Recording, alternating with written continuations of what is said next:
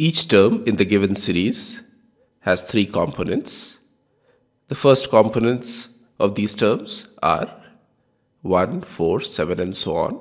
And therefore, the first component of the general term of the series is equal to 3r minus 2.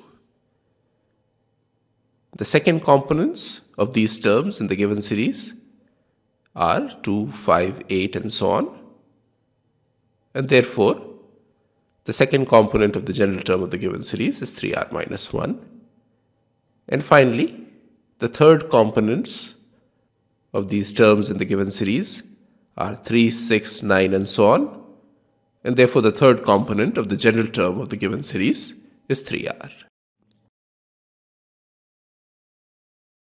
Putting these three components together, the general term ur of the given series is equal to 3r minus 2 times 3r minus 1 times 3r.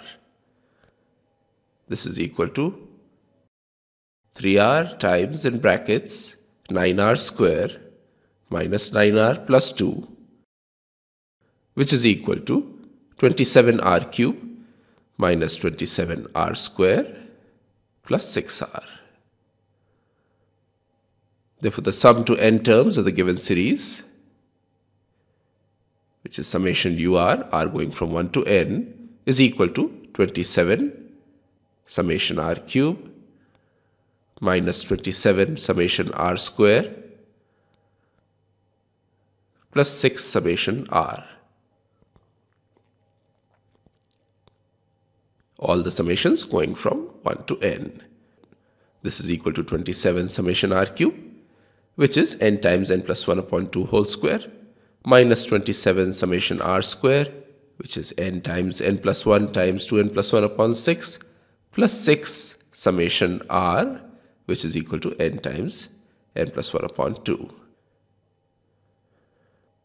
Now take n times n plus 1 upon 4 common and in the brackets we are left with 27 times n times n plus 1 minus 18 times 2n plus 1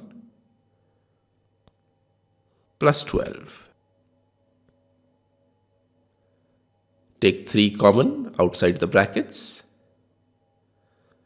and therefore Sn is equal to 3n times n plus 1 upon 4 multiplied by in brackets 9n square minus 3n minus 2.